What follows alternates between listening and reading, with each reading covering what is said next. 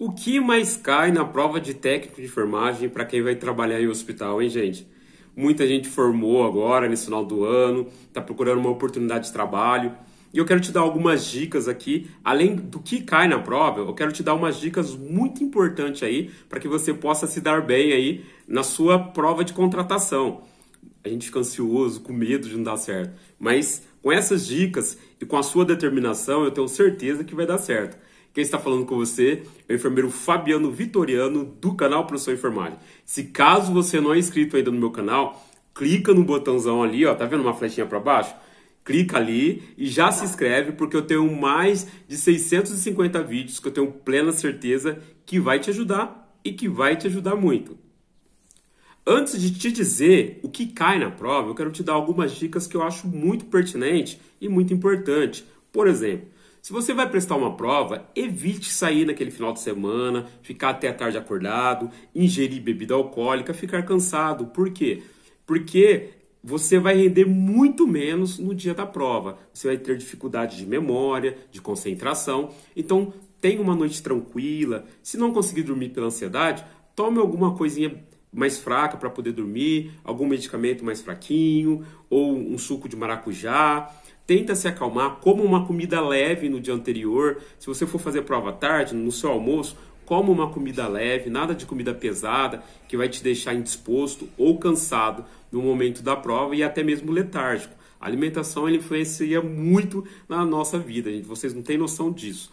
Então, essa é uma das dicas principais que eu te dou. E outra dica também, chegue meia hora antes do combinado. Chegue com antecedência. Imagina você chegar correndo, cansado, é, estressado porque está atrasado para fazer a prova. Com certeza, essa situação de estresse vai te gerar maus resultados. Então, vá tranquilo, chegue com antecedência, fique ali de boa, esperando o seu momento, porque é um momento único, é um momento que Deus vai te abençoar e eu creio muito nisso. Então, agora eu quero te falar sobre o que cai.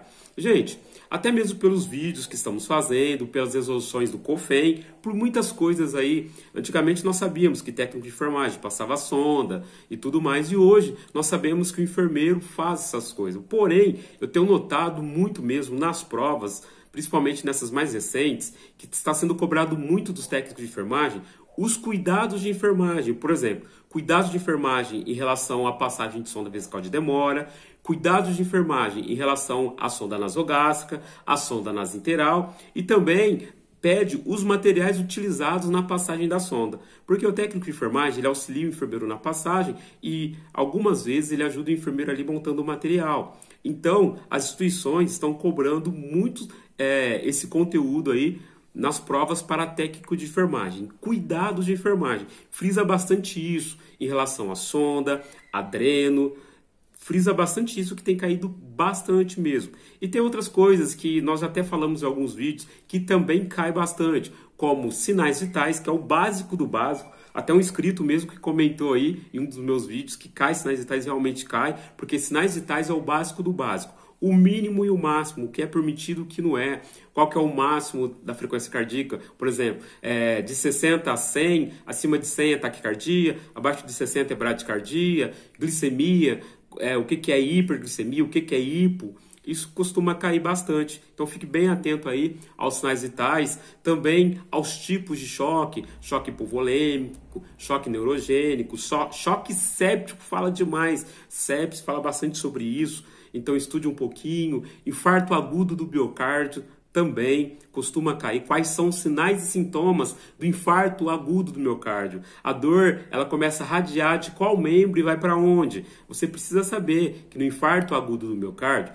o paciente, ele tem dor em membro superior esquerdo, radiando para a mandíbula. Lembra disso aí? Então costuma cair o tempo da trombólise no infarto agudo do miocárdio. Então estude tudo sobre infarto que costuma cair. Curativos, gente. Curativos também caem. O que é um curativo asséptico? O que é um curativo sujo?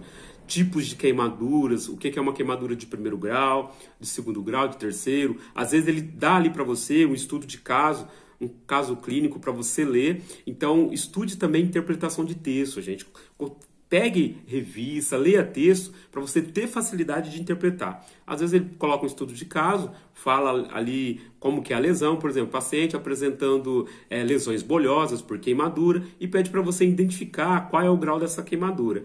Então, para isso, você precisa dar uma estudada aí. Cálculo de medicação sempre cai cálculo de medicação. E aí vai cair regra de três, vai cair o cálculo do gotejamento, porque muita gente acaba errando na regra de três. Tem muita gente que tem dificuldade da divisão, o básico da divisão e também o básico da multiplicação. Então estude um pouquinho a tabuada. Eu sei que parece chato eu falar isso, né, gente? Você já fez um curso técnico aí, né? Já saiu do ensino médio, mas estude tabuada, estude como que faz a conta de dividir. Isso é bastante importante. As pessoas têm errado em detalhes. Porém, são detalhes que tiram a sua vaga. Então estude isso. A transformação de grama em miligrama, por exemplo, te dá um problema ali que tem um grama, que você vai ter que fazer 500 miligramas, e você vai ter que transformar grama em miligrama, e é muito importante você saber fazer isso. É, tipos de dreno, o que, é um dreno de Kerr, um dreno de Penrose, um dreno de tórax. E sempre quando eu falo alguma coisa aqui, por exemplo, se eu estou falando para você tipos de dreno, você precisa estudar os cuidados de enfermagem relacionados aos drenos. Cuidados de enfermagem relacionado ao dreno de tórax, cuidados de enfermagem relacionado ao dreno de Penrose, ao, de, ao dreno Portovac, ao dreno tubular, tudo isso cai em prova de técnico de enfermagem para o hospital. Então fique bastante atento a isso, que na sua prova de técnico de enfermagem você vai se dar muito bem.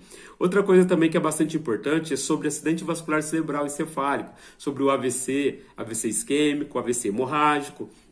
Estude sobre o AVC, qual que é o tempo ouro, qual que é o tempo de trombólise, o que que se usa para fazer a trombólise no AVC, Estude que cai, escala de coma de Glasgow, o que, que é a escala de coma de Glasgow, as atualizações que nós temos agora sobre a escala de coma de Glasgow, que o Glasgow agora ele pode variar de 1 a 15, antes o Glasgow mínimo era o Glasgow 3, então estude a escala de coma de Glasgow também, bastante importante.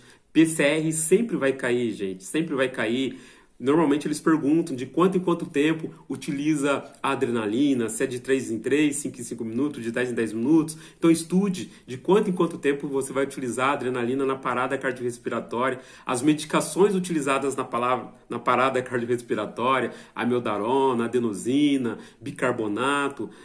E também uma coisa que cai bastante é sobre os tipos de parada. Nós temos quatro tipos de parada: fibrilação ventricular, taquicardia ventricular, assistolia e AESP, que é atividade elétrica sem pulso. Então, normalmente cai perguntando quais são os tipos de parada. Aí pergunta quais são é, os chocáveis e os não chocáveis. Nós sabemos que chocáveis é a taquicardia ventricular, a fibrilação ventricular, e não chocáveis é a sistolia e a atividade elétrica sem pulso. Então, estuda sobre isso, sobre parada, como que é feita a compressão torácica, quantos centímetros deve abaixar o tórax do paciente no momento que você faz a compressão torácica, quantas compressões torácicas você faz, quantas ventilações, qual que é a diferença de você ventilar um paciente intubado e o um paciente extubado. Então estude sobre isso que cai, gente. Tem muito, muito conteúdo bom aí na internet. Tem mais vídeos meus aqui também ótimos para te auxiliar sobre isso. Outra coisa bastante importante, sistematização da assistência da enfermagem. É, você pode falar assim, mas professor, quem faz é o enfermeiro. Faz, mas você a executa. Por exemplo, a prescrição de enfermagem, você que executa ela. Então, pode cair alguma... É, pode cair alguma questão relacionada aí à assistência de enfermagem, a SAI, tá? Bastante importante, então estude sobre isso, estude sobre isso tipos de precaução ou tipos de isolamento.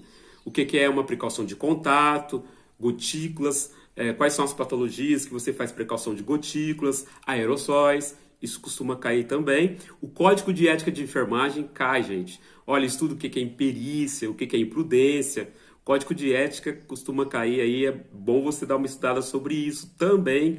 Vacinas, principalmente para quem presta para a área pública. Vacinas cai. Quais são as vacinas que são feitas ao nascer? Quais são as vacinas que são realizadas na criança? Estude sobre isso aí, hein? Outra coisa bastante importante é sobre atualidades. Dá uma olhada aí, nós temos sites aí como o G1, o Twitter. Coloca o que está em alta relacionado à saúde, estude sobre isso porque costuma sim cair sobre atualidades, sobre a segurança do paciente também cai né? Porque é, a Organização Mundial da Saúde está batendo muito nessa tecla e é bastante importante sobre as seguranças do paciente. Isso é bastante importante. E sobre humanização, costuma cair uma questão até pessoal sobre humanização. Ele faz ali e ele pede para você descrever com suas palavras o que é humanização, falar sobre humanização. Isso cai, gente. Então é bastante importante você estar estudando sobre isso. Agora eu quero te fazer um pedido aí. Você que fez prova recente, Comenta aqui nesse vídeo, aqui nos comentários, o que caiu. Até para a gente fazer um vídeo ainda mais atualizado do que esse aí, para estar tá ajudando aí nossos colegas que irão prestar prova, tá? Então você que prestou prova recente, descreve aqui embaixo o que caiu na sua prova para técnico de enfermagem para trabalhar no hospital ou a sua prova para enfermeiro para trabalhar no hospital. Tá bom, gente? Olha, eu vou ficando por aqui. Eu só quero te lembrar que eu vou deixar na descrição desse vídeo o link do meu curso completo de cálculo de medicação e injetáveis. Olha, é um curso com 40 horas, com mais de 30 vídeos. Você que vai ser contratado agora e está inseguro, faça o meu curso que você vai sair na frente. Tudo bem, gente? Olha aí, grande abraço para você do enfermeiro Fabiano e até o próximo vídeo.